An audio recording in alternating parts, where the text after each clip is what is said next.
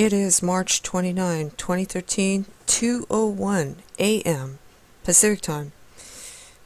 Folks, I don't know what this is. Uh, I ran across this article, and I'm not sure if this is uh, true or not. I have no way of verifying the information, but see what you think after you read it. It says breaking North Korean photo reveals U.S. mainland strike plan. Information revealed in official North Korean military photo shows would-be U.S. attack. March 29, 2013. Update 1449 Korean Standard Time. South Korean intelligence agencies have spotted increased activity on North Korean mid to long range missile platforms, an unnamed official told Yonhap in Seoul. We are closely watching for the possibility of a missile launch, the anonymous government source said. Seoul. Kim Jong un signed off on a plan to ready his forces to target the U.S. mainland and American bases in East Asia, following yesterday's U.S. led B 2 stealth bomber runs. The KCNA reported after the North Korean military conveyed an emergency meeting in the early hours of this morning. In a photo published in the Korea's Workers' Party, the KWP, paper, the Rodong, plans for a strike on the U.S. mainland are clearly and therefore probably deliberately visible. The newspaper is widely distributed in cities and often displayed in public places for easy viewing. He finally signed the plan on technical preparations of strategic rockets, ordering them to be on standby to fire so that they may strike any time the U.S. mainland, its military bases in the operational theaters in the Pacific, including Hawaii and Guam, and those in South Korea, a KCNA report in English said. In the below photos, Kim Jong un can be seen in what appears to be a military command room, signing the ready order. And here's the photo. And there he is.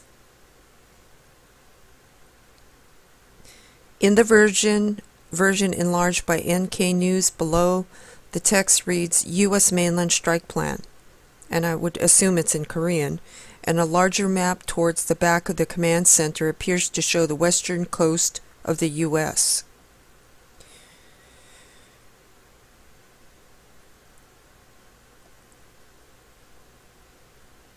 A composite overlay appears to show Los Angeles, Washington, D.C., Hawaii, and possibly Austin as primary targets in a North Korean attack plan. Oh, great. Sorry, folks. In a second picture, Korea, Korean People's Air Force squadron numbers are visible, as is what appears to be flight plans on the left side of the large map on the wall.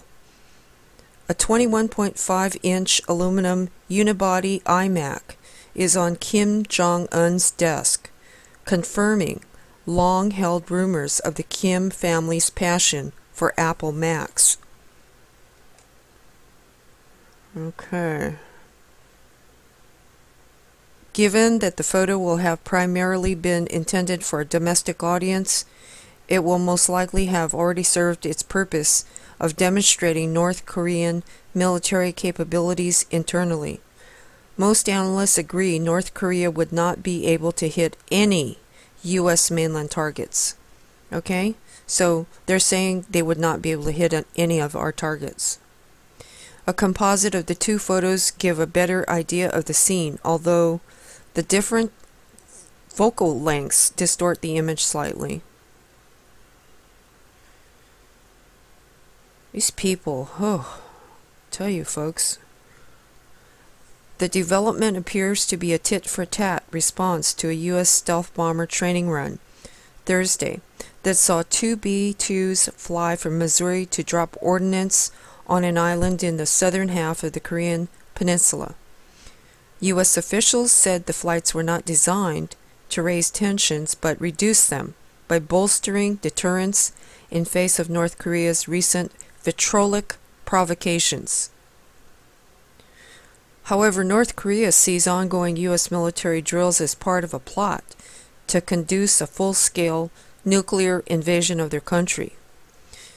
This week, North Korea put its military on the highest level of alert possible and cut a second military hotline. A KCNA report published earlier today added to tensions by saying that the North Korean military was preparing to blow up the strongholds of aggression through precision strikes no matter where they are. Observers worry that with tensions running high and two new leaders in Pyongyang and Seoul, there is significant potential for escalation in the event of military confrontation. Both Kim Jong un and Park Geun hye are under domestic pressure to show strong and decisive leadership in the face of each other's threats, and a lack of direct communication between the two sides is worrying for some. So, what do you think, folks? U.S. is saying that there's no way they can hit U.S. military targets. And these people, well, they're probably making sure that the United States sees all this.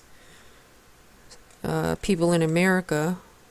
You see the United States map in the back of this man's hat? In, in this photo here? That's clearly the United States right there. Yeah. And I don't read Korean, so I'm unable to translate for you. I'm sorry about that, but this uh, red circle here shows a diagram of some kind. Let's see if I can enlarge that a little bit. Try to make it as large as I can. That's too hard to see. But anyway, there's clearly something in there. Yeah. These people, um, Whoa. They are not to be trusted, folks. At all. Look at this. It seems almost like these people are back in time, you know? They're living in a, in a place where they are isolated, they are uh, look look at their uniforms, for example.